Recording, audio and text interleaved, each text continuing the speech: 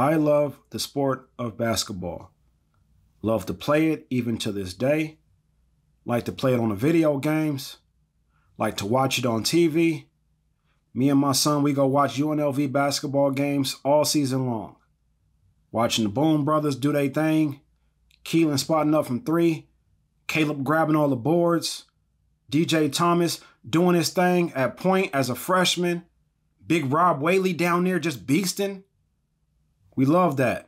But as much as I love the sport of basketball, it does not keep me from seeing the things that I spoke about in the last video, and it does not keep me from seeing how not making it to the top league has distorted the view of success for many of our young brothers. For a lot of our young brothers, it's NBA or bust, and that mentality keeps them from taking advantage of all the other things that the game has put on the table before them. See, it's not the game, it's the obsession with going pro that has hindered a lot of our young men's growth and development as people. If we get a scholarship, but we make no attempt to go to the classes, or if we leave school early, even though we're a projected second round pick, it makes me question are we putting basketball before life? My position for years, even before the NIL deals, have been that if the NBA does not allow them to come out of high school, then they should require them to have a college degree. Let's get rid of the gray area. We don't play baseball anymore.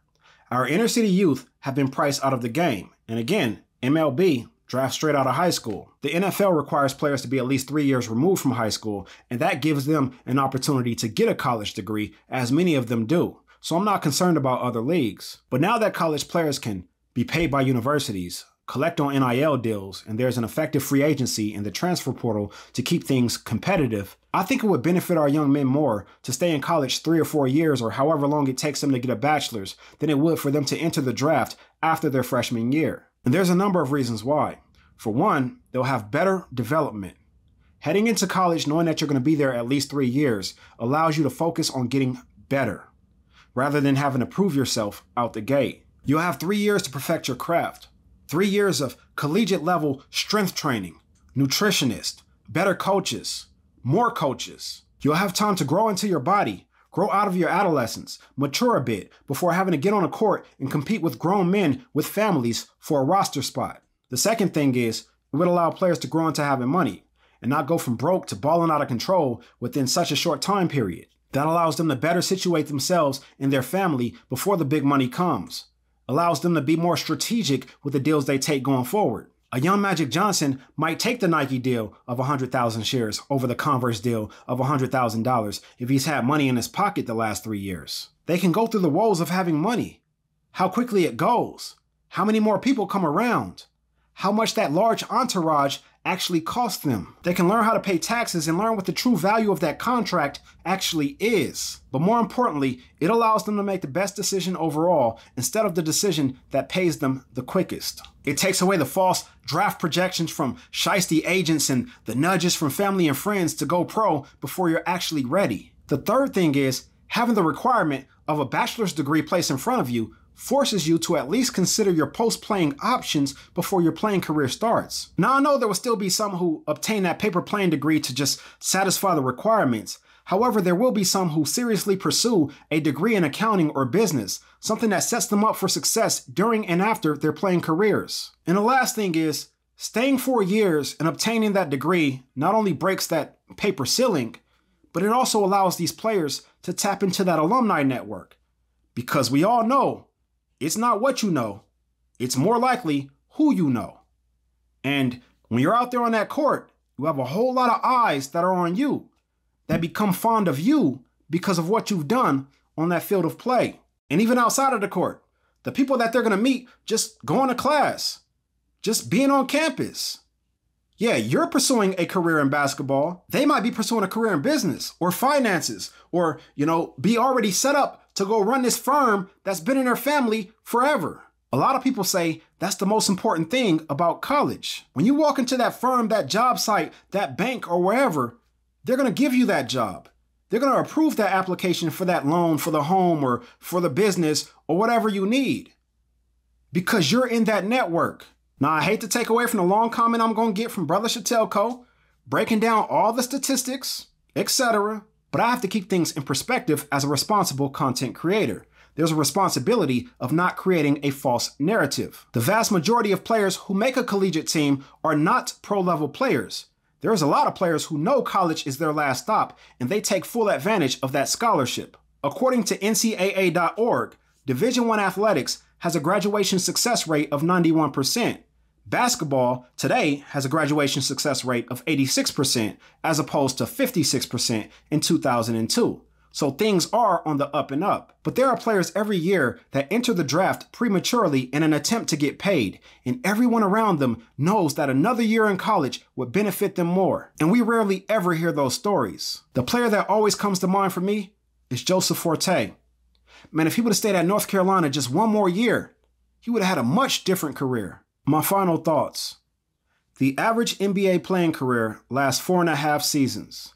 It's estimated that 60% of NBA players will deal with financial troubles within five years after leaving the game.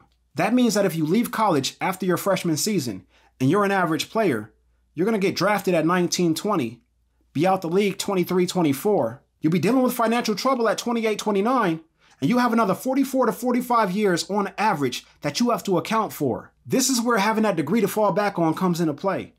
This is where having that alumni network to fall back on comes into play. You have to set yourself up for life. Again, college players are getting paid today. They're collecting on their name today. They can sign their autographs for money today. They can go in the store and buy crab legs and go in the store and buy jeans at the proper price today. And if you're really like that, you're still going to have a long, successful playing career at the pro level. But at least you've gotten everything you can get out of your college experience. But the trickle down effect that that decision will have on our community will be tremendous. You think these young brothers walking around with a ball ain't gonna know how to read when they know they gotta get a degree to get to where they wanna get to? You think they not gonna turn in their homework on time or gonna be in school just playing around? No, they gonna take it just as serious as the people who going to school to be doctors or who aspire to be doctors. They not in class, you know, with C's and D's. Now they trying their best. They trying to learn something. Will have the same effect on our youth. Let's help them put life before the game. What's the average life in the NBA players? What's the average? Four years. Four years. Wow. Four years. Four years is the average lifespan of an mm. NBA career, mm. and it take us five years after that to go broke. To go broke. Easy numbers game. I, I, I do it like this. You make five million dollars, two and a half of that gone. You mm-hmm. got agent fees, probably another fifty of that gone. Mm-hmm. Um, you got your dues. A lot of people don't know we got dues for dues. the MB, NBPA. So yeah, what? you got dudes. So everybody put their money in the pot. So you figure you got 450 NBA players. Mm-hmm. I think the dudes is 15 to 20 grand a year. Everybody wow. put it in the pot. That's how we able to get our health care and all of that type of. Didn't know that. Then you got uh you got your personal staff. Financial yeah. advisor, there's probably one mm-hmm. Agent at a high number is gonna get four percent. Right. Or but you can negotiate from one to four. Okay. So before you look up, you probably at 1.5 million off of five God. with nothing. And these Benzes that we keep talking about in these mansions and sh- these girlfriends and these Chanel bags. Mm. Before you know it, you you not a millionaire no more. Right. You a high thousandaire on paper. You can tell them, you I'm a millionaire. Right. In real life, a lot of that pie gone. So again, and we 17 18 year old kids these are our first experiences mm-hmm. it's going to take us i don't care what you go to school for it's going to take you five six years of that experience yeah, to even realize what's happening to you i was i was hey listen man i had a i had a week I bought a Ferrari and a Lamborghini in the same week, and I I rationalized it with my financial advisor, and he was like, "I can't legally tell you what to do with your money, but I don't think that's a good decision." Right. And I said, "It's cool. I make a bunch of this." I did. I but I was young. What year was this? What year? Do you remember? Man, I had to be 24. I had to be 24, 25 years so it was like old. the sixth or seventh season? 2012. But no, like you have, you want to enjoy some of this stuff too, yeah, you. Do. Like you, do. you want to enjoy it. And so that's how, but that's how athletes go broke. A lot of people think it's like you just got a reckless spending habit. Yeah. It ain't that we got reckless spending habits. We just got crazy overhead. And once the checks stop, mm-hmm. it gets completely different. It's nobody sitting there giving you real numbers because it's coming in so fast money coming in so fast. That's just the contract. Like you might have a shoe deal, you might have some endorsements, so mm-hmm. you feel like this is gonna be forever. It was right. culture shock to me. The first week I didn't get a big check from being retired, mm. where it was like, oh, oh I figure this shit out.